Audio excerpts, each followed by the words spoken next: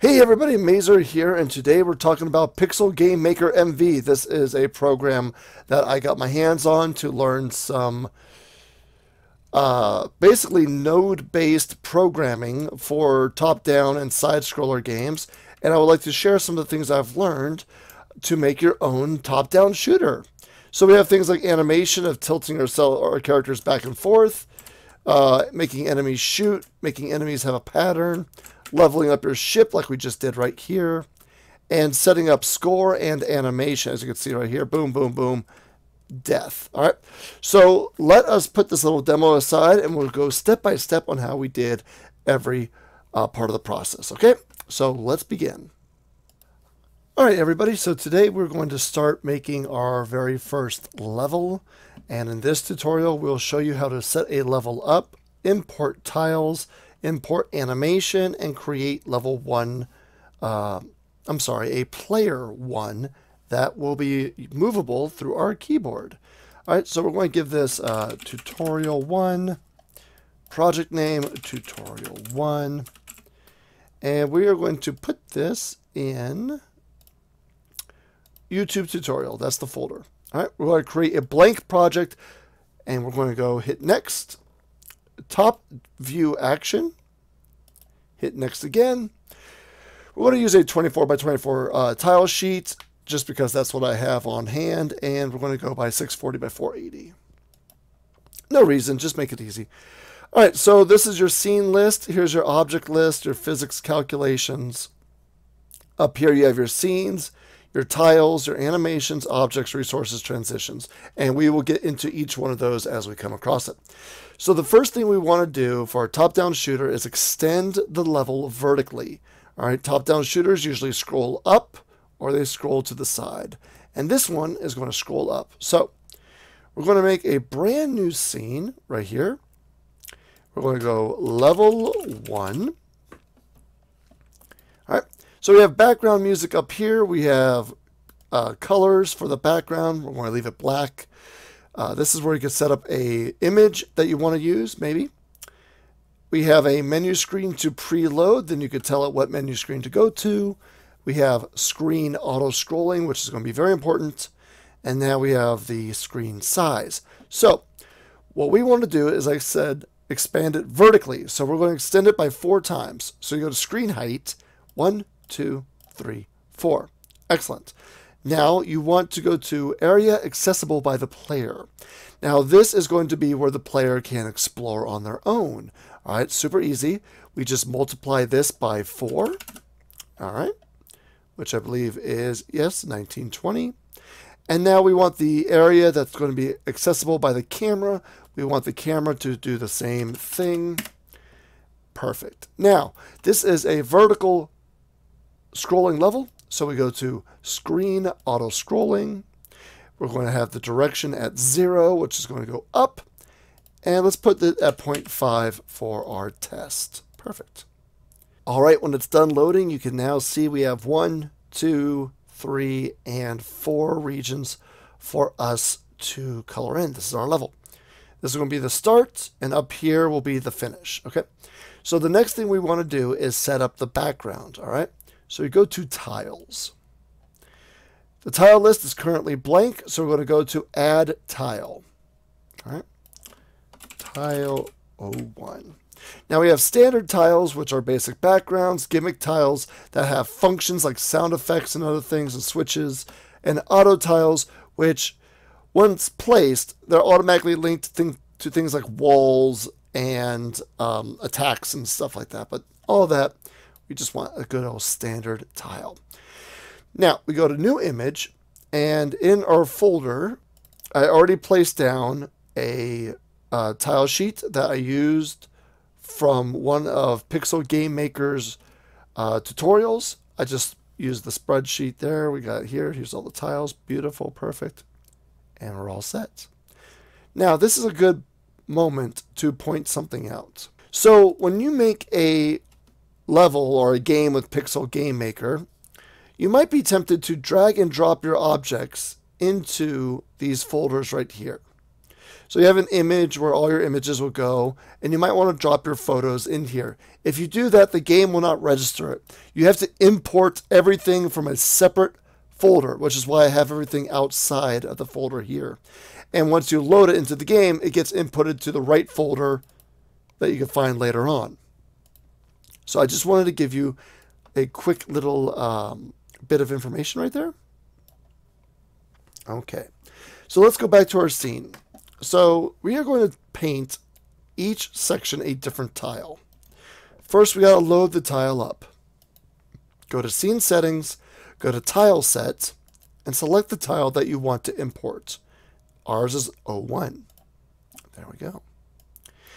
Now, we're going to put everything on Layer 2, so it's going to be in the background. All right, just to make things nice and easy for us. And we're going to use the Square Paint tool here and give each section its own look. So it's going to be brown, followed by red. Let's see, followed by uh, black for the last one, and a nice blue for the bottom. Excellent. Perfect, perfect, perfect. Make sure you save often.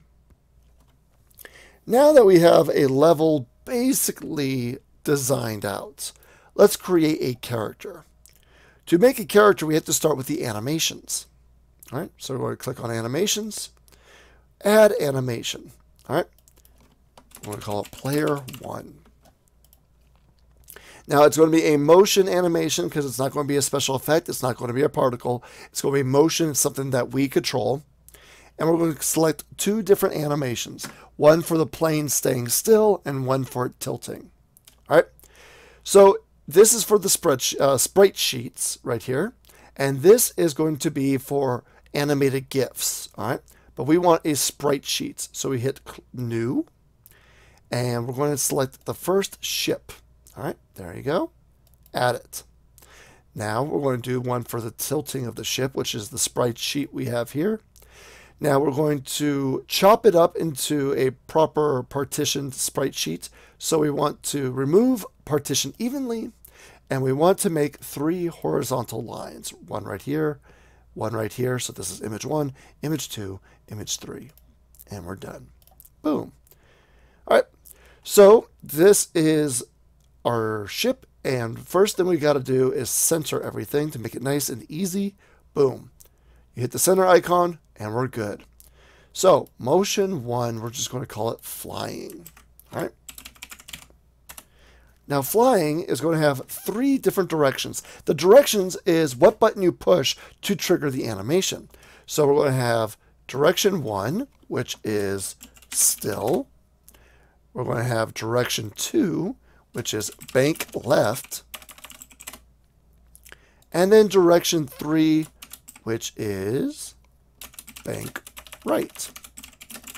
Perfect. Now, when you click on one of these, you'll notice a square right here. This is what buttons get pushed to cause the animation to trigger. So bank left, we want these buttons. Bank right, we want these buttons. And still, we want none of them.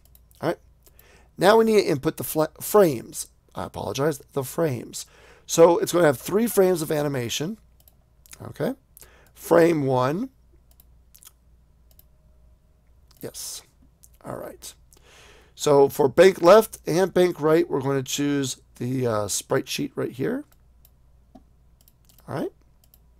So frame one is going to be this still image right here. Frame two will be this image. Frame three will be that image. Nice and easy. Now we have only one sprite sheet going to the left. How do we do that for the right? Super easy. We add our three frames and then we click on flip horizontal. So frame two and frame three. There you go. It gets flipped horizontally and we're good to go. All right. So now we have our ship, we have the image and the animations. So now it's time to make that into a movable object that the player can control. And this is where we go to objects. All right. Make sure you save, always save in this program. So we're going to add our object. We're going to call it player one. We'll use player one animation, and it's going to be associated with the player group. We want object controlled by an input device, so we control this. It's going to be affected by enemy groups for both impacts and detections, and it will also detect walls in the tile group. All right. So how here we go. Oh, let's get rid of this. This is what you're going to get. You're going to get a default single action object. So this is the animation that's going to play when the ship is completely still.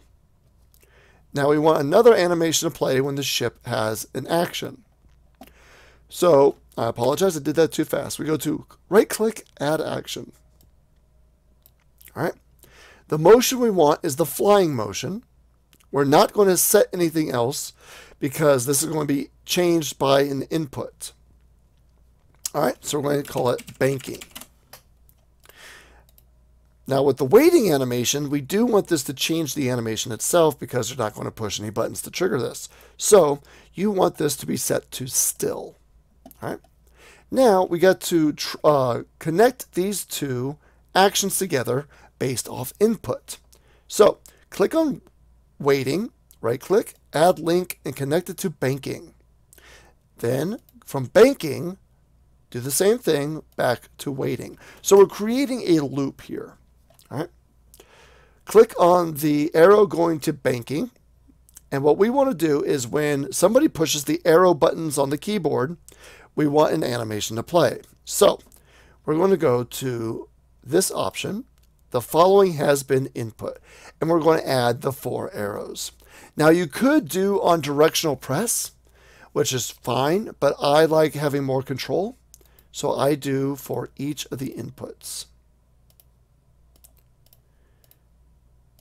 It just makes checking everything a lot easier. Okay. And over here, we want or statements. All right. So if up is pushed, or if down is pushed, or if left is pushed, or if right is pushed. If you use and, you it'll only trigger if you push both buttons at once. We don't want that. All right. So it says right now, if player presses a directional button, go to banking. All right, banking is flying. Easy peasy. Done. All set. Now, for this one, if the following has been input, and once again we go up, down, left, or right. Ah, but we're going to change something. Let's put the OR statements back into place. Now, let's change these. Upon release. So down here, you have on press, which means you push it and it happens. All right, so you just push it, it happens once. Pressed is if you hold it down. Releasing is when you let go. And on release happens the moment the button stops being pushed. All right. So we want this all on on release. So basically when there's no input. Okay. So now we have our ship all set up to play the animations when the buttons are placed. Now, let's go a few options here and make sure that the plane is set up for button pressing. So we're going to go to moving and jumping. All right. You want to make sure that it says control key settings and have the settings set up to the proper buttons as you see here and have the move type to basic. All right. You other uh, parameters that we have is the horizontal movement, vertical movement. This is speed and this is acceleration. Okay. So the longer you hold the button down, the faster the object will get. Okay. Then you have things so it could move us back and forth if you wanted to, and so on and so forth. Okay. But for right now, we're just going to use the default settings on everything. And we're going to place the object into our scene. So we go back to our scenes. We're going to save first. We go to Object, click on Player 1, and we drop the ship down right here. All right? So, save again, and hit play. As you can see, the ship is now moving and the level is scrolling. It's perfect. See that? Excellent. But you'll notice a strange problem. When I let go of the buttons, the ship does not stay with the frame. So, what we're going to do is make sure the ship stays inside the frame while the camera moves. Now, it is very easy to make sure that the player stays fixed within the frame. You just go back to your objects, you go to basic settings, and right down here, you're going to call fix relative position to the camera. All right, so with that set up, we'll go back to play, and now our ship is actually scrolling with the camera. All right, perfect. Now the final thing to do before we end this tutorial is we're going to go to our object. We're going to go movement and jumping and we're going to triple that speed to 6 and 6. And now let's test it out. There you go. The ship has a much faster movement.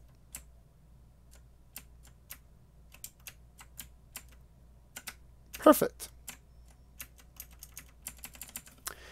And it stays within the camera, and we're all set for our basic character movements. Wonderful.